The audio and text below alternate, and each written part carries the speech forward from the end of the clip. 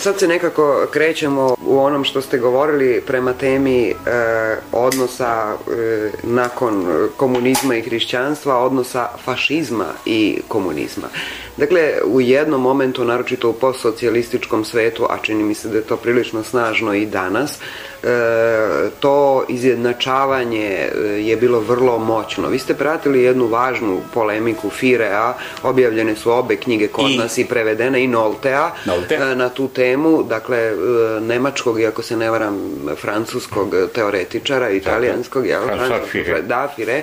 Ovaj, I Nemac Nolte. I Nemac Nolte, ko, koji su pokušali nekako da naprave tu jedno uravnoteženje, iako i na prvi pogled u svom osnovu, bez obzira na te pervertirane varijacije realnog uh, utemeljenja komunističkih država, to je suštinski jedna ozbiljna i jedina najozbiljnija oslobodilačka ideja i oslobodilački pokret koji je obuhvatao uh, sve ljude, što za fašizam nikako ne možemo reći. Nikako nisu. Ta polemika između Nolte, imate njegovu knjigu Fašizam u svojoj epohi, i François Firea, velikog istoričara Francuske revolucije i najvećeg istoričara koji je nedavno umro.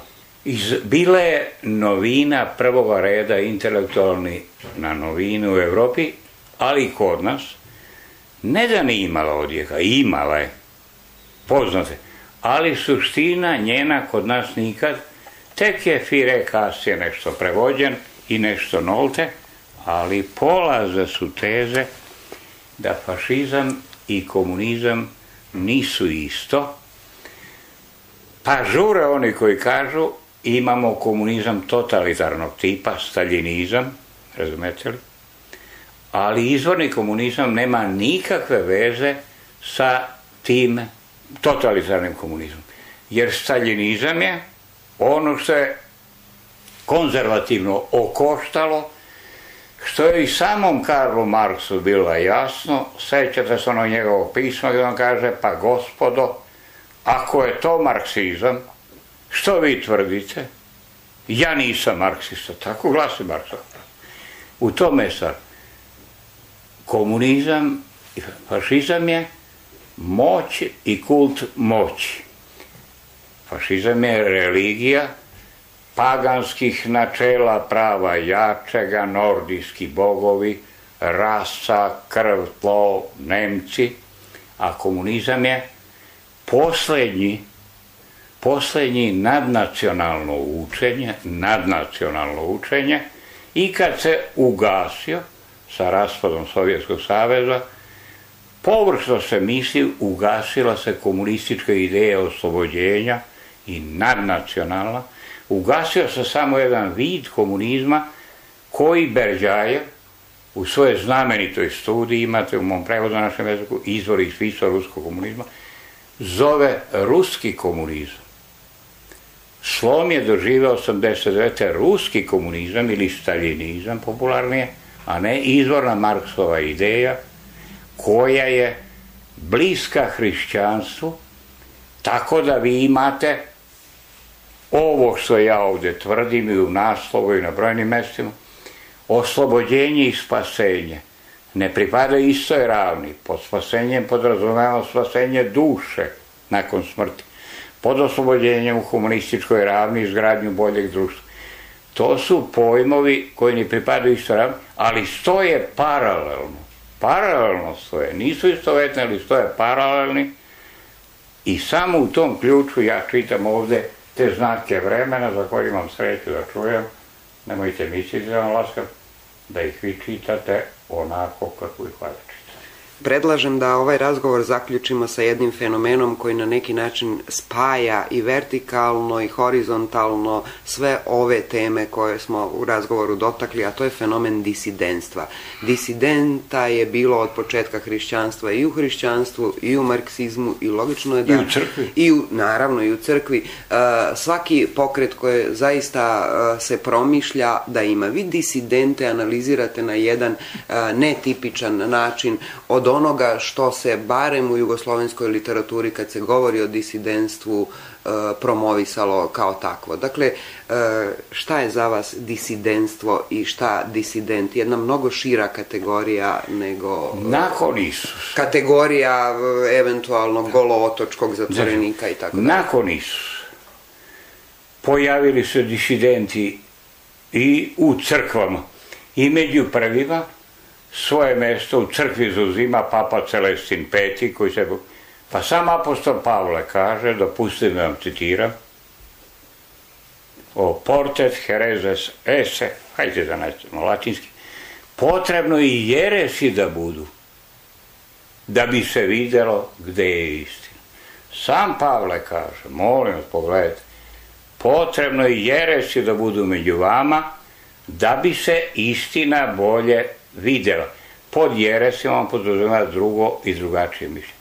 Disidenti su u crkvi doveli do obnove, do rušenja drevnih struktura, do obnove hrišćanske misli, a disidenti su u komunizmu doveli do vraćanja Marksu i odbijanja totalitarnog oblika. Uzmite Mihajlova.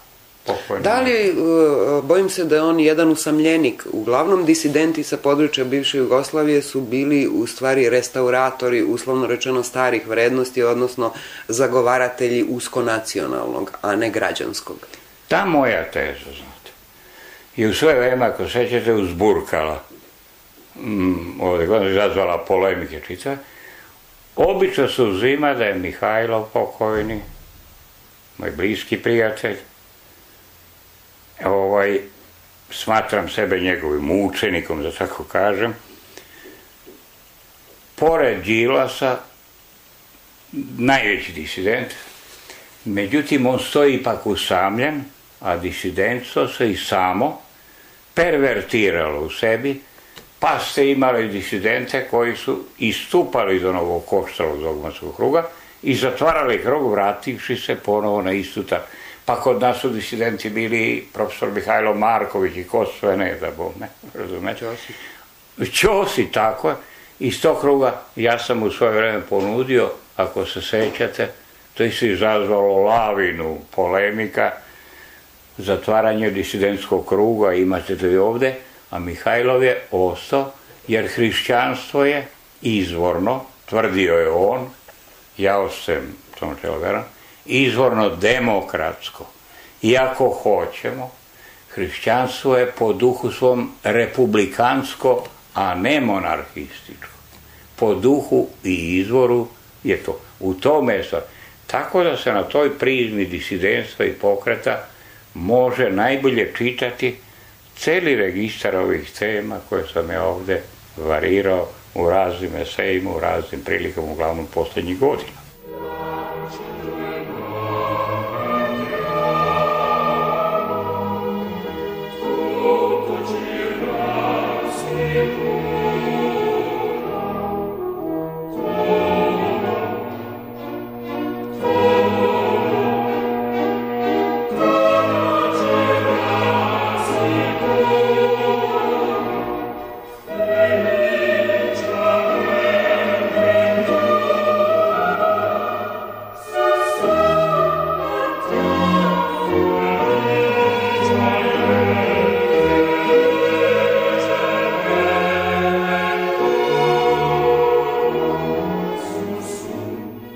Slušali ste razgovor sa Mirkom Đorđevićem, autorom knjige Oslobođenje i spasenje, hrišćanski personalizam u senci ideologije i politike. Delo su objavili izdavačka kuća Most Art i Res Publika. E, ton majstor Zoran Uzelac, ja sam Marijana Radulović, prijatan dan.